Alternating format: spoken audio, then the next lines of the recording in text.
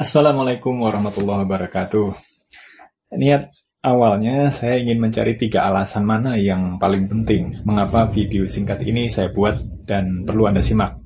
Tapi ternyata dari 27 list alasan, alasan fungsional, alasan emosional, alasan sosial, ternyata saya menemukan ada paling tidak 13 alasan kenapa video singkat ini perlu saya buat dan perlu Anda simak. Uh, agar menghasilkan uang, agar menghemat uang, menghemat waktu, menghindari usaha yang lebih berat, mempermudah pekerjaan, mencegah kesalahan dan kegagalan, kemudian mendapatkan reputasi, meniru orang lain untuk ikut tren, ya, mengambil kesempatan, membuat orang lain lebih berdaya, dan membantu orang lain mengambil keputusan.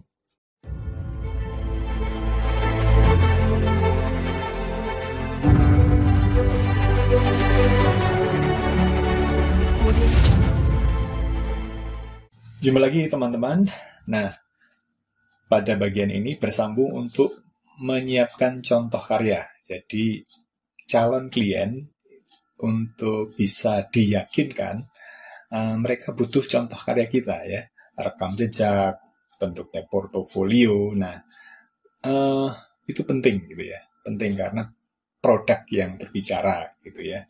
Kali ini yang saya lakukan adalah menyiapkan halaman pendaratan atau landing page ya. Landing page uh, contoh karya yang pernah saya dan tim kerjakan gitu ya. Saya akan kasih lihat. nah, ini. Jadi ini landing page saya prionawangfukapedia.com slash contoh karya gitu ya. Halaman uh, khusus landing page. Nah, penampilannya juga menurut saya sih lebih profesional ya dan pasti lebih ringan gitu ya. Ini sambil promosi saya buat menggunakan tools landing press ya.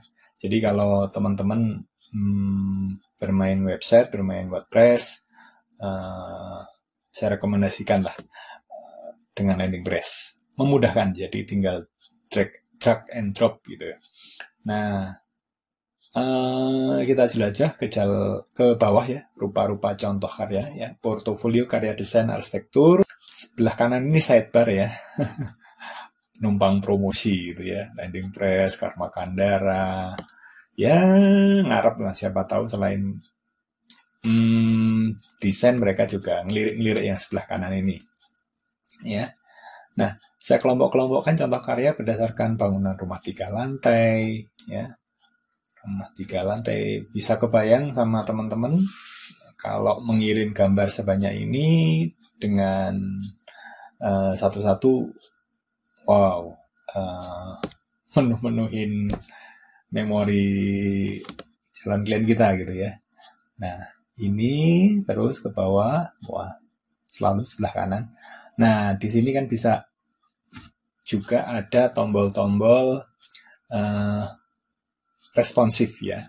Misalnya yang langsung connect ke WhatsApp kita gitu ya.